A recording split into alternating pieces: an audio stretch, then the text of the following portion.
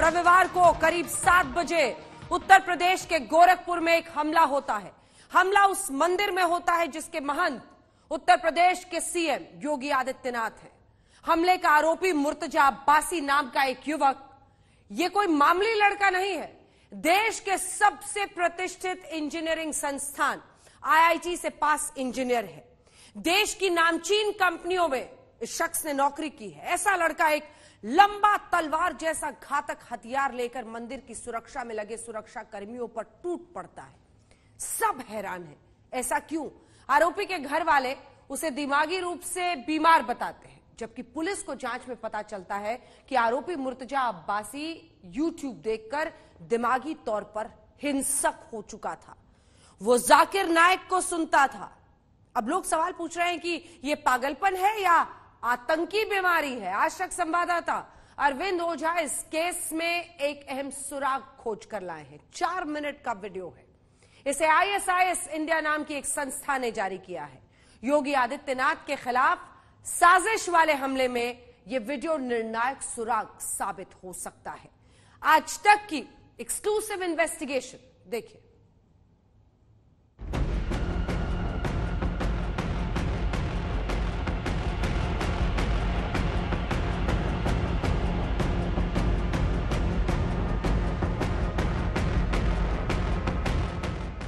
चार मिनट के इस वीडियो में भारत के खिलाफ आतंकी मंसूबों का ऐलान है। ये वीडियो इंटरनेट से चलने वाले टेलीग्राम नाम के सोशल मीडिया ऐप पर जारी किया गया है। मेरे मुसलमान भाइयों और विलायत हिंद में बसने वाले मुजाहिद सिपाही, उम्मत मोहम्मद सल्लल्लाहु अलैहि वसल्लम एक जरखेज उम्मत है, जिसका एक सिपह सालार कत्ल हो जाता है तो उसकी जगह दूसरा ले लेता है। बल्कि जिहाद और मुजाहिदे में इस्तेमरार इस आतंकी वीडियो में यूपी के गोरखनाथ मंदिर में हुए हमले की साजिश के मास्टरमाइंड के सुराग हैं ये एक संयोग से ज़्यादा है कि टेलीग्राम में आईएसआईएस के एक चैनल पर एक वीडियो जारी करके दावा किया जाता है कि भारत में आईएसआईएस के चार स्लीपर सेल एक्टिव हैं। वीडियो की भाषा किसी भी इंसान को भड़काने वाली है। वीडियो में जिस किस्म के हथियार दिखाए जा रहे हैं, वो देसी किस्म के गणा से और देसी कट्टे हैं। हथियार देसी और ज़ुबान ऐसी कि किसी मासूम इंसान को भी लोन वुल्फ बनने की ओर आगे बढ़ा दे। लोन वुल्फ यानी ऐसा हमलावर जो अकेले किसी भी चीज़ से हमला कर दे। अब आप 3 अप्रैल 2022 को उत्तर प्रदेश के गोरखपुर में गोरखनाथ मंदिर के बाहर हुए हमले को याद कीजिए। एक लड़का हाथ में गड़ासा लेकर आता है, पीएससी के जवानों पर हमला करता है और मंदिर के अंदर दाखिल होने की कोशिश करता है। अब हम आप यूपी के गोरखनाथ मंदिर में हुए हमले की तस्वीर दिखाते हैं। सबसे पहले सीसीटीवी कैमरे में कैद हमले की तस्वीर देखें।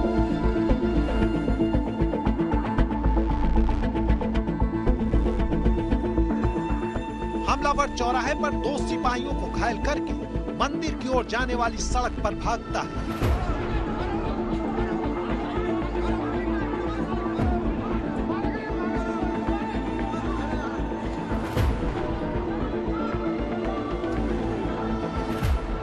अब आप वीडियो में दिखाए गए हथियार को देखिए और गोरखपुर हमले में इस्तेमाल हथियार को देखिए। तो आप पाएँगे कि एक देसी हथियार से एक इंसान घातक हमला कर सकता है।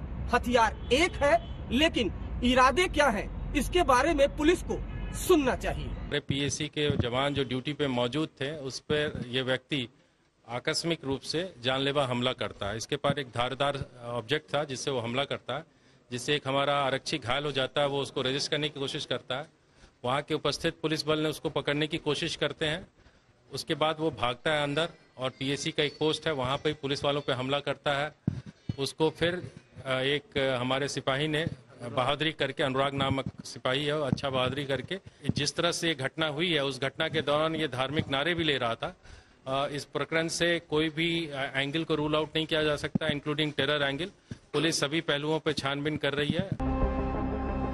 अब हम आपको आईएसआईएस का दावा करने वाले और गोरखनाथ मंदिर में इस्तेमाल हुए गणासे को एक साथ दिखाते हैं। देखिए दोनों हथियारों को एक साथ। इनमें समानता को संयोग भी कहा जा सकता है और ये भी माना जा सकता है कि आतंकी संगठन भारत के स्थानीय हथियारों की मदद से लोन वुल्फ अटैक की बड़ी साजिश कर रहे हैं।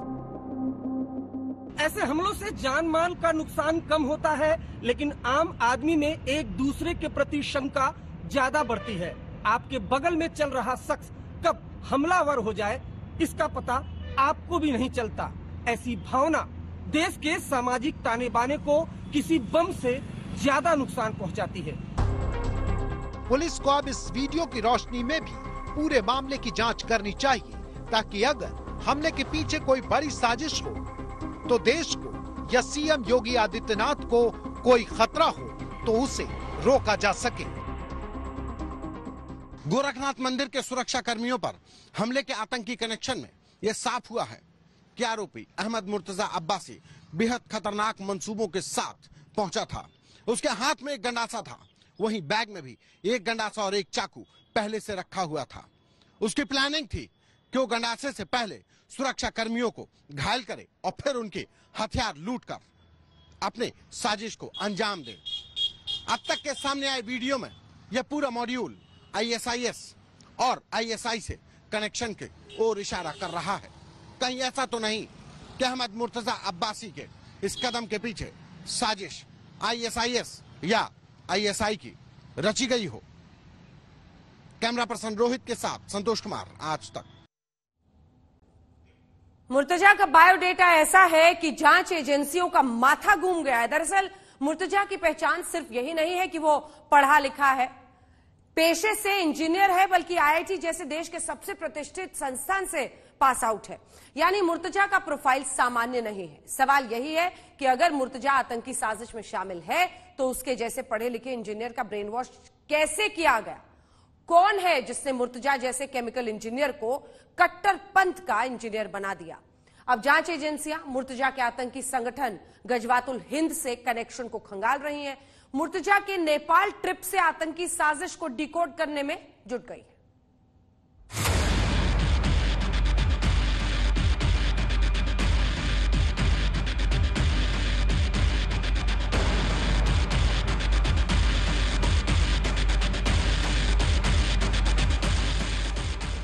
पेशे से इंजीनियर मुर्तजा पर लगे आरोप और पूछताछ में सामने आए डिटेल देश के लिए किसी बड़े खतरे से कम नहीं। सोचिए, जिन होनहार हाथों में देश का भविष्य हो, वही हाथ आतंक के हथियार बनकर अपने ही मुल्क के खिलाफ षड्यंत्र का हिस्सा बनने को तैयार हो गए। क्या आईआईटी से इंजीनियरिंग की डिग्री हासिल कर चुका अहमद मुर्तजा बड़ी कॉन्स्पिरेसी वाले टेरर प्लॉट का एक छोटा सा मोहरा है? किस बात का डर था तुम्हें? कुछ कुछ है क्या प्रॉब्लम पुलिस पुलिस इन्वेस्टिगेशन में डर है किस चीज़ का? कोई बात हुई है कोई इंसिडेंट नहीं वो तो मेरे पापा पापा कह रहे थे कि क्या है सोचो कुछ भी हो गया मतलब ग्रेजुएट हो गया हो गया या कुछ भी सोचो तुम्हारे पिछली शादी हो गई कुछ केस वेस किया क्या आप सोचना दिमाग लगा रहे हैं क्या हो सकती है? नहीं है कुछ कुछ लग नहीं रहा है ही लग रहा है गोरखनाथ मंदिर कांड की शुरुआती जाँच में मुर्तजा ने जो राज उगले और उसके लैपटॉप और मोबाइल में मिले सबूतों ने जाँच एजेंसियों के होश उड़ा दिए। एक गंभीर घटना है इसके आतंकी पहलू हैं और इस पर जाँच पड़ताल की जा रही है। कल जो डिटेल प्राइमा फैसाई मिला है उस पर आज ये मुकदमा जो है मुख्यमंत्री जी के आदेश से अभी एटीएस को ट्रांसफ़र हो गया है एसटीएफ को भी लगाया गया साथ में। मुर्तजा के लैपटॉप ने उगला वीडियो सबूत।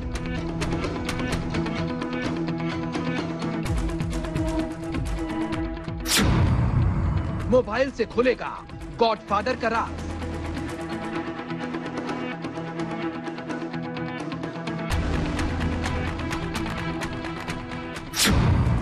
मुर्तजा की टेरर कुंडली में क्या क्या है?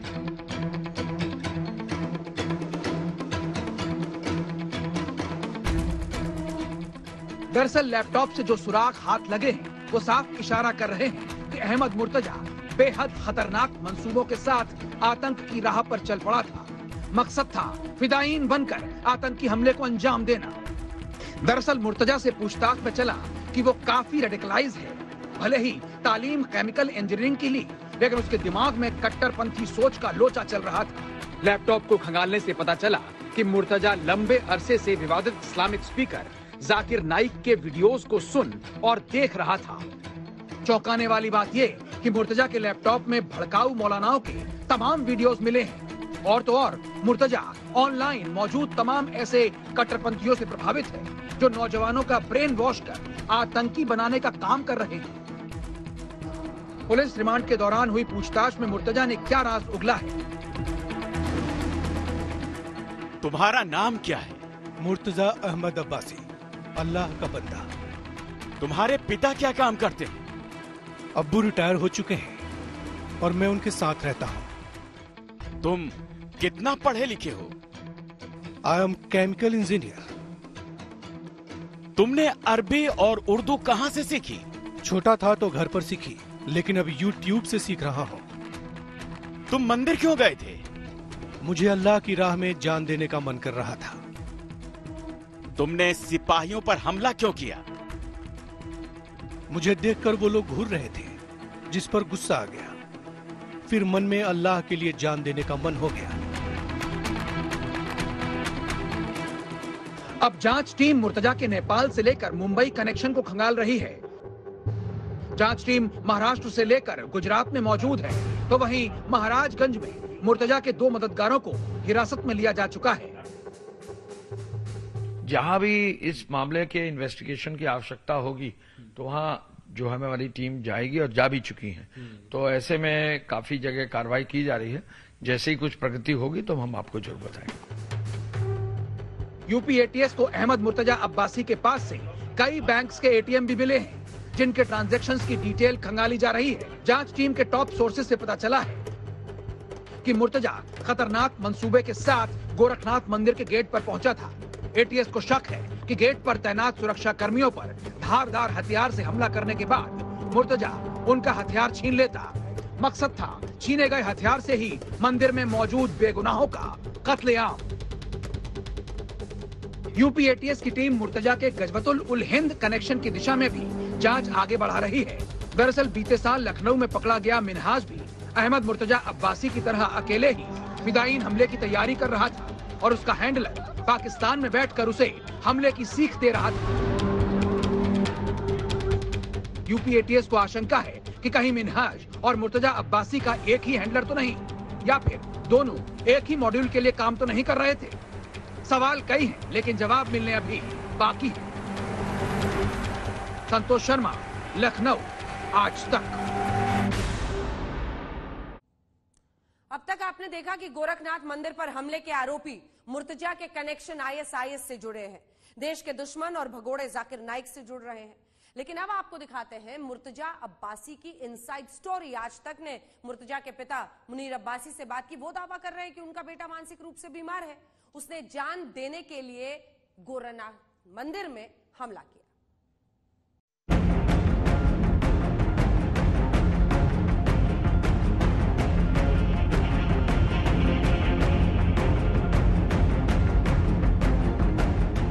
मुर्तजा अब्बासी की इनसाइड स्टोरी देखिए। आईआईटी इंजीनियर से गोरखपुर मंदिर तक मुर्तजा का पूरा सच। मुर्तजा अब्बासी के पिता बेटे को लेकर कौन सा खुलासा कर रहे हैं? आज की तारीख में हर कोई उस मुर्तजा अब्बासी का सच जानना चाहता है, जो सीएम योगी आदित्यनाथ के गृह क्षेत्र गोरखपुर के गोरखनाथ मंदिर में हमला करने पहुँच गया। अब मुर्तजा अब्बासी के तार आईएसआईएस इंडिया से लेकर जाकिर नाइक तक जोड़े जा रहे हैं। लेकिन आज तक ने यह जानने की कोशिश की कि आखिर मुर्तजा का माइंड वॉश किसने किया? हमने मुर्तजा अब्बासी के पिता मुनीर अब्बासी से सीधे बात की। उन्होंने जो बताया, उसने स्टोरी को उलझा दिया। उसका मानसिक जो है, स्थिति सही नहीं थी, बचपन से ही, और वो 2018 में जाकर के वो उसने गंभीर रूप ले लिया, उसको हेलुसिनेशन हुआ 2018 अप्रैल में। और वहाँ लोकल जामनगर में इलाज हुआ कंपनी ने उसको अनफिट किया कि ये आदमी नहीं है, सही है, आप इलाज कराओ। जामनगर में इलाज जब हुआ दस, बीस दिन तो वहाँ भी नहीं हुआ वहाँ डॉक्टर घबरा गया, इनके रौद्र रूप देख के बम्बई उसने रेफर किया तीन चार महीना इनका वहाँ रहा है। फिर ये वहाँ उनका टेस्ट हुआ फिटनेस वगैरह इन्होंने पास कर लिया या उन्होंने लीनियंटी शो किया, बहरहाल फिर ज्वाइन किया। फिर वो ये कम रेगुलर नहीं थे, महीने दो दो तीन तीन महीने लीव विदाउट पे रहते थे। 18 अप्रैल 2000 दस अप्रैल 2018 को ये हेलुसिनेशन जो हो गया था तो उसका इनको कंटिन्यूस प्रॉब्लम रही। फिर इनको जो है इलाज में फिर कुछ लोगों के कहने पे कि भाई ये न्यूरोलॉजी है साइकेट्री से नहीं चलेगा। तो जो टॉप डॉक्टर थे न्यूरोलॉजिस्ट हाँ उन, उनके यहाँ ये ट्रीटमेंट इनका चला। गोरखनाथ मंदिर में हमले के आरोपी मुर्तजा के पिता मुनीर हमें कुछ डॉक्टरी रिपोर्ट्स और इलाज के पर्चे दिखाते हैं। वो बताते हैं कि उन्होंने अहमदाबाद के top neurologist doctor Sudhir Shah से उनका इलाज कराया। मुर्तजा के पिता ये भी बताते हैं कि 25 साल के बाद उनकी बाइपोलर डिसऑर्डर की बीमारी ने रौद्र रूप धारण कर लिया। मुर्तजा के पिता बताते हैं कि वो उनके बेडरूम में ही सोता था, अकेले नहीं रह सकता था। लेकिन जब हमने मुर्तजा के मुंबई कनेक्शन पर उनसे पूछताछ की। तो उन्होंने बताया कि मुंबई मुर्तजा नहीं बल्कि अपने फ्लैट के सिलसिले में वो मुंबई गए थे। ये कहा जा रहा है कि ये कल ही परसों में मुंबई से आए हैं इनके पास से मुंबई। मुंबई तो मैं गया था क्या तो वो मेरा बोर्डिंग कार्ड है मैं गया हूँ। वो वो चूँकि क्या है ना मैं तो लेट लौटा था इसको खट से बैग वैग मिला अपना मैं अपना फ्रेश कब गए थे? मैं अट्ठाईस मार्च को गया था। और अट्ठाईस मार्च को गया था और अपना दो अप्रैल को लौटा। मेरा वहाँ फ्लैट था, उसका मैंने किराएदार था, उससे मेरे को पोजीशन लेना था। मेरे पड़ोसी थे तो बहरहाल हमको कुछ किराए पे उठाना था। तो वो कुछ बात बन नहीं पाई, क्योंकि लेट थोड़ा सा हुआ। तो कुल मिला के मैं चाबी वाबी लेके किसी को दे दिया हूँ। मैं, मेरा सिर्फ़ काम यही था कि फ्लैट का पोजीशन लेना। हम आपको बता दें कि मुर्तजा ने 2015 में आईआईटी बॉम्बे से केमिकल इंजीनियरिंग की थी। उसके बाद से दो कंपनियों में नौकरी भी की, जबकि मुर्तजा के पिता भी एक कंपनी में इंजीनियर रह चुके हैं और रिटायरमेंट के बाद से गोरखपुर में रह रहे हैं। मुर्तजा के पिता कहते हैं कि उसमें बचपन से सुसाइड टेंडेंसी थी। वो जान देने के लिए गोरखनाथ मंदिर गया था। पुलिस जो कह रही है एटीएस कह रही है कि इनके पास से कुछ चीज़ें ऐसी मिली हैं जो कुछ टेररिस्टों के साथ जुड़ गए थे। कुछ ऐसा आप लोगों को लगता है? नहीं है भाई, अभी तक तो कोई नहीं मिली थी। उसके बाद था ही क्या? वो बैग में, मेरे ख्याल से कपड़ा वपड़ा रहा होगा। कोई बोलते हैं कि चाकू को क्या कुछ धारदार हथियार लिया। अब देखिए, वो तो बेसिकली शुरू से ही मतलब सोसाइटल टेंडेंसी थी। मैंने उसको जब ये रिलायंस छोड़ के आया तो एक साइकिल दिलाई। तो साइकिल चलाता था, बोलता था, मैं जब साइकिल चलाता हूँ, मन करता है मैं किसी कार में भिड़ा दूँ। तो सोसाइड टेंडेंसी इसकी बचपन से थी। अब वो हरदम तो बताता नहीं था, समझदार हो गया था। तो अब उसको यही था कि भाई, जैसा कि रिपोर्ट आ रही है कि ऐसी जगह मारोगे, हमको मार के खत्म कर दे। तो यही बेसिकली वो सब अपना जान, अपनी जान देने के लिए वहाँ गया था। अब उसको सूत्रों का दावा है कि मुर्तजा के पास से एक बैग में अरबी भाषा की मजहबी किताबें मिली हैं और गोरखनाथ मंदिर का नक्शा भी था। साथ ही उसके पास से लैपटॉप में भी कई संदिग्ध गतिविधियों के सुराग मिले हैं।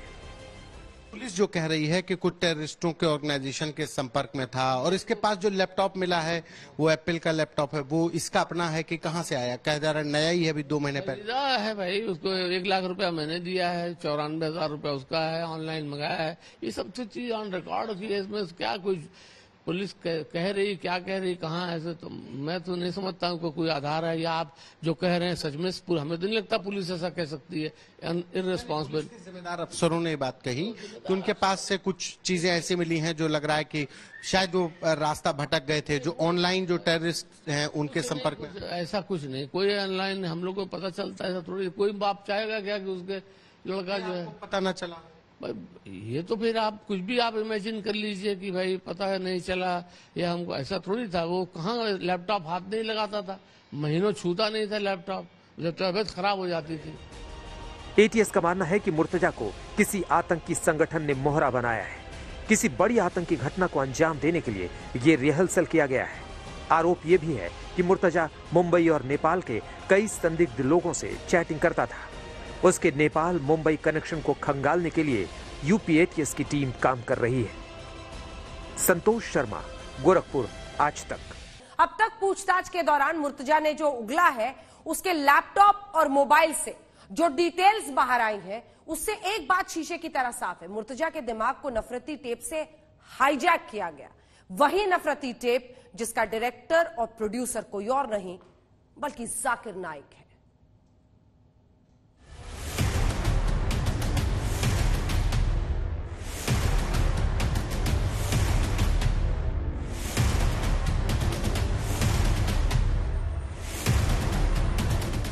अगर आप माशरे को सुधारने के लिए जिद्दोजहद कर रहे उसे कहते हैं जिहाद। अगर आप सेल्फ डिफेंस में लड़ रहे हैं, उसे कहते हैं जिहाद। अगर आप ऑपरेशन के खिलाफ झगड़ा कर रहे उसे कहते हैं जिहाद। जिहाद के मानी है जिद्दोजहद करना। मुर्तजा अब्बासी के जहन में आतंकी जिहाद का मवाद डालने वाला कोई और नहीं, बल्कि देश का दुश्मन, जाकिर नाइक है।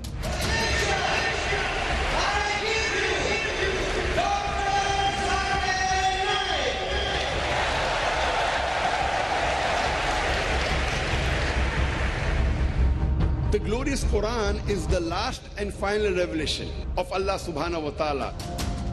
वही जाकिर नाइक जो देश का भगोड़ा है जो देश के खिलाफ नफरती टेप का हेडमास्टर है जो अपनी कट्टर और जिहादी सोच के लिए दुनिया भर में बदनाम है।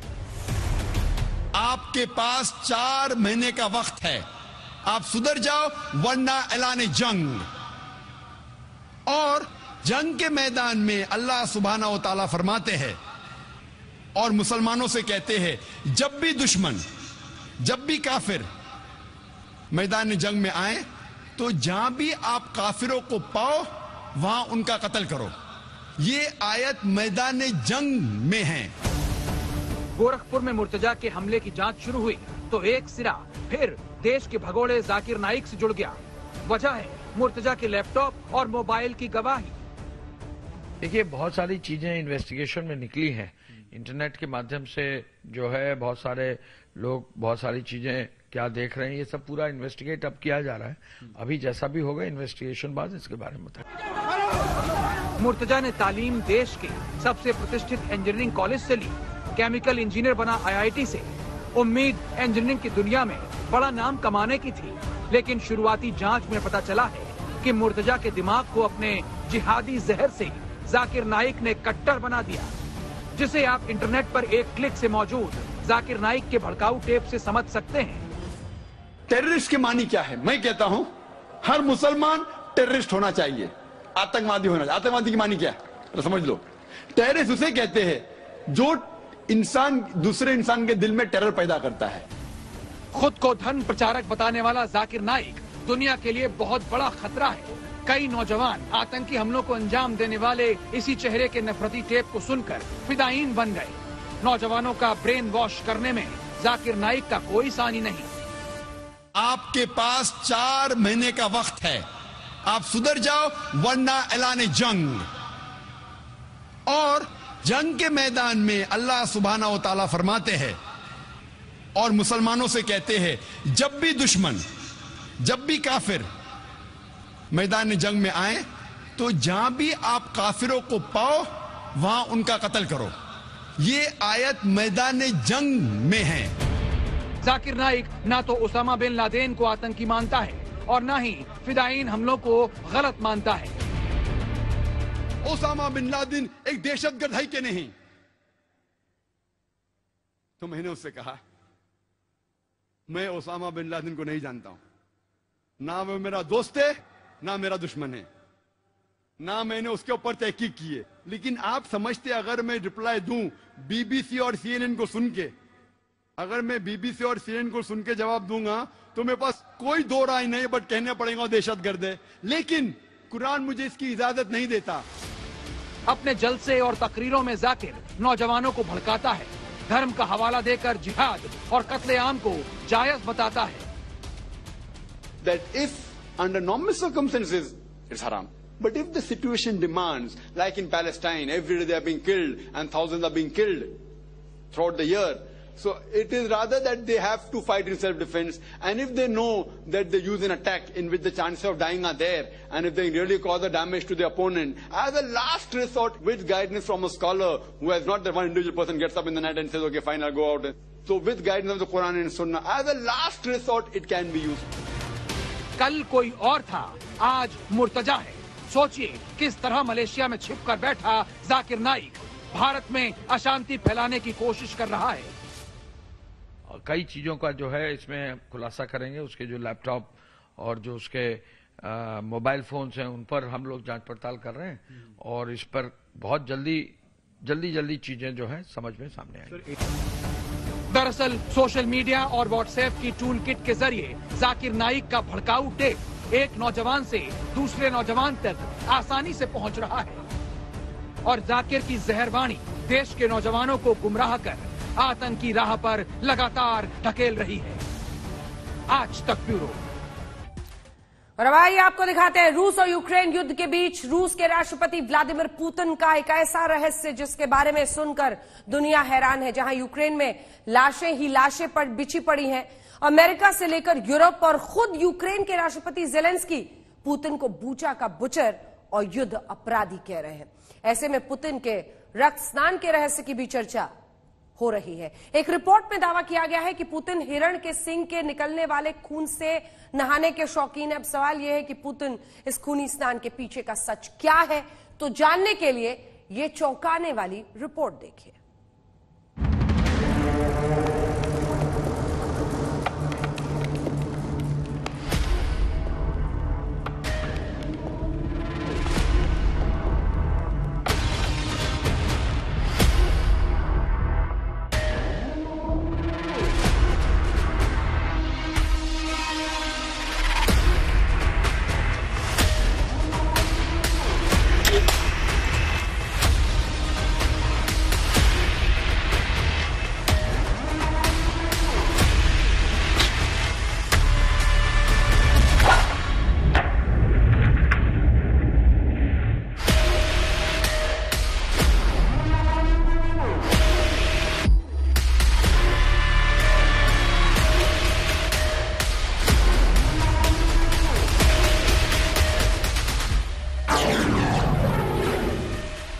आजकल खून से क्यों नहाते हैं रूस के राष्ट्रपति पुतिन? पुतिन के रक्त स्नान का रहस्य आज खुलेगा। यूक्रेन में नरसंहार और पुतिन के रक्त स्नान का कोई कनेक्शन है? पुतिन की खून से नहाने वाली रिपोर्ट से दुनिया क्यों हैरान है? रक्त स्नान से पुतिन को कौन सी शक्ति मिलती है?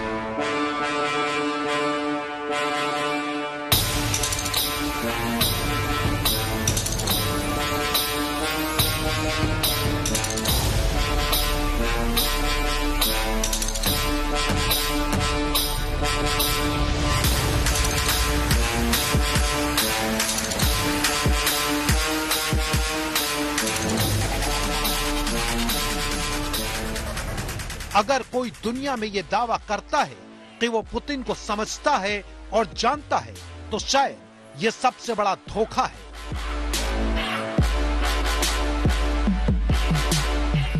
क्योंकि पुतिन उस रहस्य का नाम है जिसके बारे में जितना जानना चाहो, रहस्य उतना ही गहरा होता चला जाता है। आपने पुतिन का रहस्यमय महल देखा होगा। आपने पुतिन के सुरक्षा कवच के बारे में सुना होगा। आपने पुतिन के विष कन्याओं के बारे में सुना होगा। लेकिन अब हम पुतिन के जिस रहस्य से पर्दा उठाने जा रहे हैं, वो वाकई पुतिन का गहरा राज है। और अब तक पुतिन के बारे में जितनी भी रहस्यमयी बातें सामने आई हैं, उनमें भी सबसे रहस्यमयी है पुतिन का ये सच। खून से स्नान करते हैं रूस के राष्ट्रपति व्लादिमीर पुतिन? हिरण के सींग से निकले खून से स्नान करते हैं पुतिन। हिरण के सींग से निकलने वाले खून में ऐसा क्या होता है? पुतिन को खून से स्नान करने पर आखिर क्या मिलता है?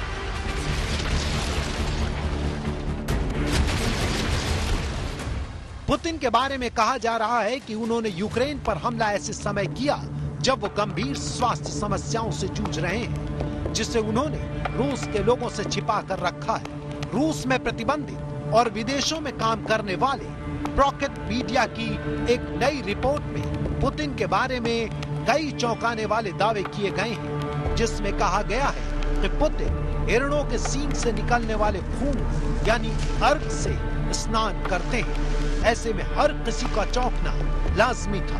दुनिया के बड़े बड़े रिसर्च स्कॉलर इस बात की खोज में लग गए हैं। रिपोर्ट में यह भी कहा गया है कि पुतिन स्वास्थ्य को लेकर काफ़ी मुश्किल दौर से गुजरे हैं। रूसी राष्ट्रपति के हिरण के सींग का खून इस्तेमाल करने से एंटलर बाल रूस में फ़ेमस हो गया है। ऐसा माना जाता है कि हिरण के सींग का खून कार्डियोवैस्कुलर सिस्टम और स्किन को फिर से जीवित करता है। ऐसा कहा जाता है कि हिरण के सींग के खून से स्नान करने पर शारीरिक ताकत बढ़ती है। रूस यूक्रेन युद्ध के चलते पुतिन अपने स्वास्थ्य को लेकर कुछ ज़्यादा ही अलर्ट रहते हैं। इसी रिपोर्ट के मुताबिक पुतिन मॉस्को के सेंट्रल क्लिनिकल अस्पताल में डॉक्टर्स के साथ यात्राएँ करते हैं। डॉक्टरों की इस टीम में कैंसर विशेषज्ञ एवनेगी सेलिवानोव शामिल। बता दें कि सेलिवानोव ने 35 बार पुतिन के साथ विमान यात्रा की है। रूस यूक्रेन की जंग को 41 दिन हो चुके हैं और अब जिस तरह से यूक्रेन की राजधानी कीव से 46 किलोमीटर दूर बूचा में तस्वीरें सामने आई हैं, उन्हें देखकर कोई पुतिन को बेगुनाहों का खून बहाने वाला कह रहा है तो कोई पुतिन को कसाई बता रहा है। तो कोई पुतिन को युद्ध अपराधी करार दे रहा है You may remember I got criticized for calling Putin a war criminal. Well, the truth of the matter is so what happened to Buka. This warrants him, he is a war criminal. But we have to gather the information. We have to continue to provide Ukraine with the weapons they need to continue the fight. And we have to gather all the detail so this can be an actual, have a war crime trial. This guy is brutal. And what's happening in Buka is outrageous. And everyone's seen it. Up to Allah. No, I think it is a war crime. What are you going to do about it, sir? Are you going to do more sanctions on Russia? I'm seeking more sanctions, yes. I'll have time to announce that. Bucha में 400 लाशें मिली हैं और तो और Bucha में रूसी सेना के बनाए हुए टॉर्चर चैम्बर भी मिल रहे हैं और इन चैम्बरों में लाशों के बंधे हाथ और क्रूरता के सबूत साफ़ देखे जाते हैं। पूरी दुनिया के एक सौ पंचानवे देश इस वक्त यूक्रेन के बूचा शहर की भयानक तस्वीरों की चर्चा कर रहे हैं। रूसी सेना के भयंकर हमलों के बाद कब्रिस्तान में बदल चुके बूचा शहर को देखकर यूक्रेनी राष्ट्रपति जेलेंस्की भी रो रहे हैं। उनकी आँखों में आँसू भर आए हैं।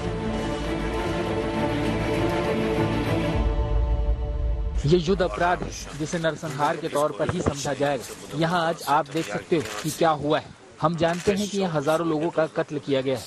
महिलाओं का रेप हुआ है। बच्चों को बेरहमी से मारा गया है। मैं ये भी कह सकता हूँ कि ये नरसंहार से भी कहीं ज़्यादा है। हम आपको बता दें कि टर्की में शांति वार्ता से पहले रूसी राष्ट्रपति पुतिन ने जेलेंस्की के लिए कहा था, जाओ, उनसे कह दो, मैं उन्हें बर्बाद कर दूँगा। वैसे भी पुतिन के बारे में कहा जाता है कि एक बार जो पुतिन ने कमिटमेंट कर दी, फिर वो किसी की भी नहीं सुनते। अब एक तरफ़ तो पूचा में हुए नरसंहार को लेकर वो दुनिया में चर्चा का विषय बने हुए हैं और दूसरी ओर रक्त स्नान को लेकर। पुतिन आखिर चाहते क्या उनके दिमाग में चल क्या रहा उनके दिमाग को पढ़ने के लिए अमेरिका से लेकर यूरोप के तमाम विशेषज्ञ माथा खपा रहे हैं। लेकिन पुतिन को देखकर ऐसा लगता है कि पुतिन को समझना मुश्किल ही नहीं, नामुमकिन है। पूछा से गौरव सावंत के साथ आज तक ब्यूरो। पुतिन की पर्सनल लाइफ दुनिया के लिए किसी बंद किताब की तरह है। वही बंद किताब जिसके हर पन्ने में रहस्य से जुड़ी एक कहानी दर्ज है।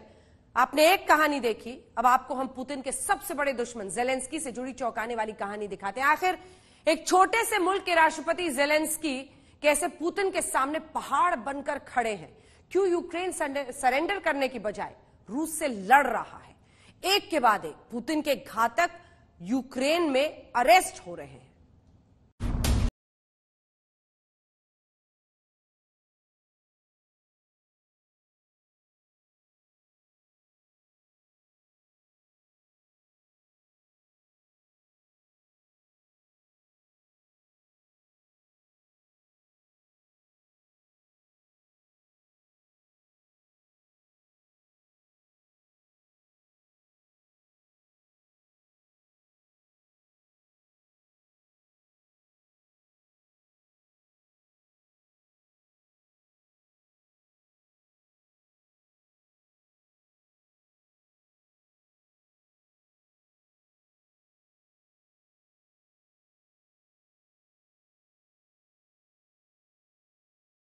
के टैंक रूस को ही युद्ध हराएँगे।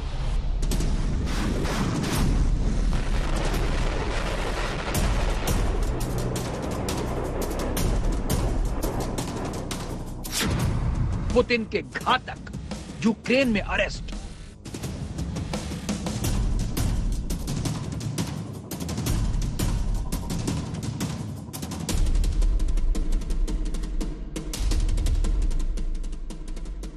ऐसा कैसे हुआ? क्यों हुआ? ये आप युद्ध भूमि की तस्वीरों से समझिए। पहले यूक्रेन के सैनिक रूसी सेना के हथियारों को तबाह कर रहे थे, लेकिन अब रणनीति बदल गई है। टैंक हो, तोप हो, एयर डिफेंस सिस्टम हो, यूक्रेन की सेना उसे तबाह नहीं, बल्कि अपने कब्जे में सही सलामत ले रही है। मकसद है रूसी सेना के हाईटेक हथियारों की तकनीक को समझना, ताकि भविष्य में इसका तोड़ निकाला जा सके।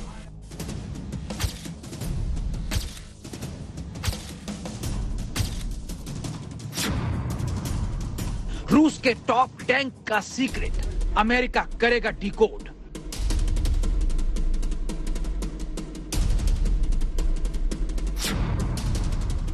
रूस के रॉकेट लॉन्चर की तकनीक का खेल खुल गया।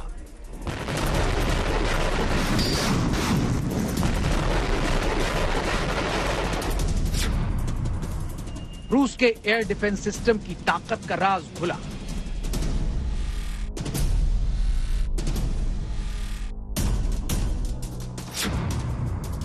अमेरिका और नाटो को मिल गई बारूदी संजीवनी।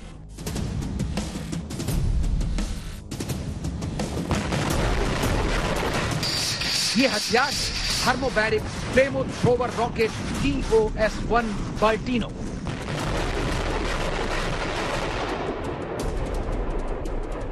युद्ध भूमि में रूस की शान और दुश्मनों का काल। इसे सबसे घातक गैर परमाणु हथियार माना जाता है। यह इतना शक्तिशाली है कि पलक झपकते दुश्मनों का खेल खत्म।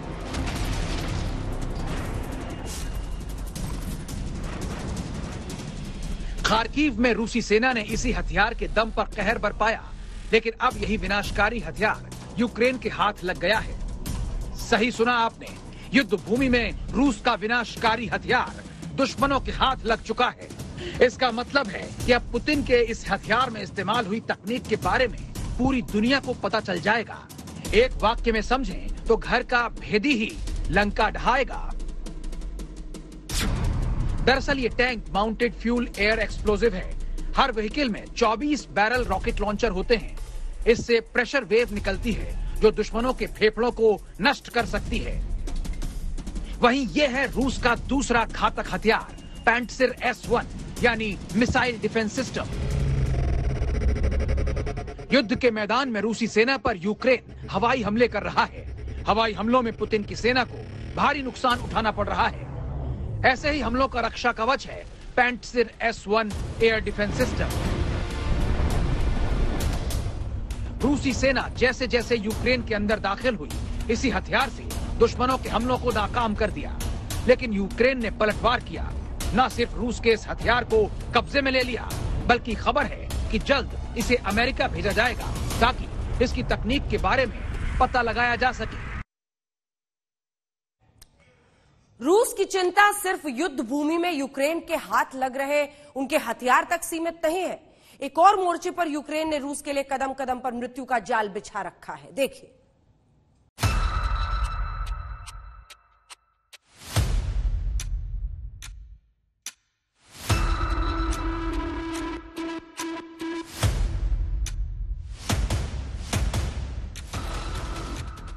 कदम कदम पर मृत्यु का जाल एक गलत कदम, यानी साक्षात मृत्यु। जंग के मैदान में, ज़मीन के नीचे और ऊपर, दोनों तरफ़ बारूदी खतरा बड़ा है। अब हम बॉर्डर के इलाके में आ गए जहाँ पे रियल असॉल्ट हो रहा है। देखिए स्कूल वहाँ पर एकदम डिस्ट्रॉय कर दिया है। यहाँ पे जो इनके व्हीकल्स हैं वो भी डिस्ट्रॉय कर दिए हैं। माइन देखिए यहाँ पे पड़ा हुआ है। अ, ये अ, या तो अपोजिंग फोर्सेस के टैक्टिक्स थे कि माइन बिछा के जाए जब जब पीछे हटते हैं या फिर इनके अपने हैं जो ये बिछाते हैं फॉर द यूक्रेनियन फोर्सेस लेकिन जो भी है माइंस जो है बहुत इंपॉर्टेंट रोल प्ले करता है इस इस वॉरफेयर में जहाँ पर फ्रंट लाइन हमेशा हटता जा रहा है या पीछे और आगे होता जा रहा है। जब जब किसी को पुश बैक करते हैं तो वो जगह माइन कर देता है वो फोर्स और अगर फिर वापस पुश बैक होता है तो आ, आगे वाला फोर्स माइन करके ही जगह को छोड़ता है ताकि ज़्यादा से ज़्यादा डैमेज हो सके जो फोर्स ऑक्यूपाई कर रहा है उस फोर्स पर। यह वीडियो रूसी सेना ने जारी किया है। दावा यह है कि यूक्रेन की सेना ने लैंडमाइन बिछा रखी है। रूसी सेना की राह में लैंडमाइन सबसे बड़ा रोड़ा है।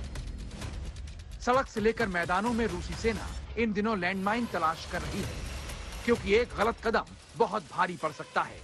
खबरों के मुताबिक, लैंडमाइन की वजह से रूसी सेना को अपने कई टैंक, तोप और सैनिकों को खोना पड़ा है। लिहाजा अब रूसी सेना पूरे मूवमेंट से पहले लैंडमाइन को कुछ यूँ खोज रही है और फिर उसे निष्क्रिय किया जाता है।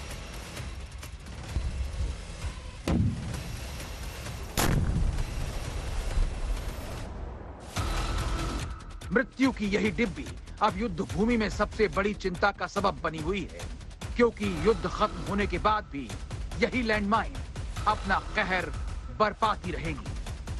आज तक ब्यूरो।